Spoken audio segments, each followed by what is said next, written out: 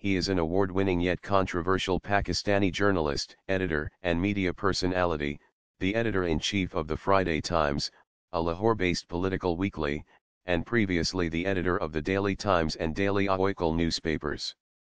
He also has a current affairs program on GeoTV called Aapas Ki Baat and owns Vanguard Books, a publishing house and chain of bookstores.